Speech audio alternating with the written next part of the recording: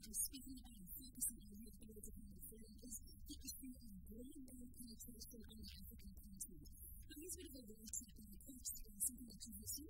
It says if Africa doesn't embrace the fourth basic infrastructure, namely broadband, the continent will be left in the dark ages. And that's quite a strong statement. What do you mean by that? I mean that there, there's a direct correlation between penetration of broadband and of the country and do it again. I think we're missing an opportunity here in Africa. Um, I think governments today understand that asset infrastructure overall is important. And I think the industry is developing applications uh, and making sure that we can get broadband rolled into rural areas, which is the key. Now, Africa is plagued by a number of basic infrastructure problems and needs.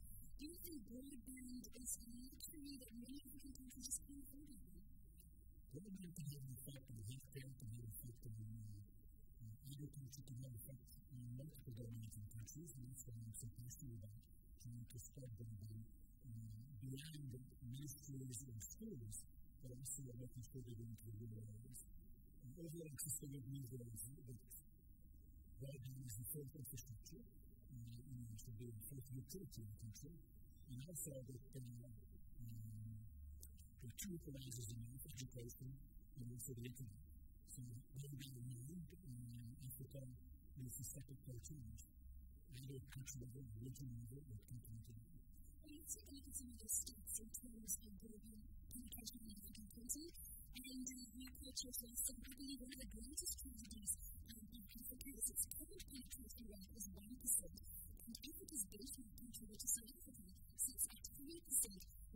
the word this purpose which is Sweden, since it came from the Now, Sweden is a very industrialized nation. Do you think it's an unfair comparison, folks?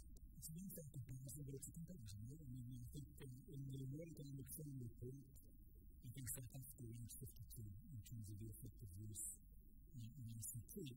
And I think that um, what's interesting is the fact that uh, maybe 25% of using it, maybe 10% should be an aspiration for Africa to get to 10% by the administration.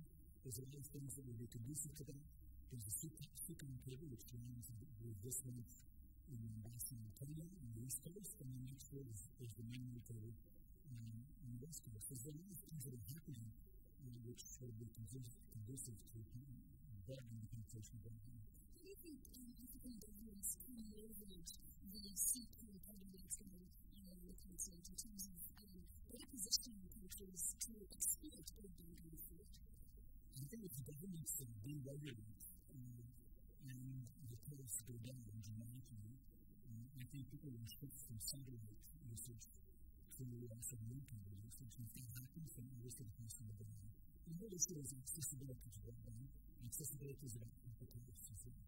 When it comes to broadband in African countries, how can governments better utilize some of the infrastructure they have already across of the telecoms industries to increase the?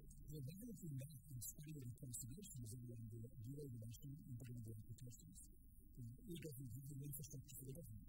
Having a backbone for the government so that they can make initiatives and go down the silos making governments more citizen-centric, for example. And we have healthcare, having the ability to do telemedicine. There this technology. I think companies like and others we must insist on multiple domains, making difference to citizen centric, in the areas of healthcare, veterinary medicine, in the areas of education. Really looking at connecting schools and making sure we have the ability to store content, which is very important. Connecting schools to the internet is, is excellent to condition. It's about how you share content effectively across the nation.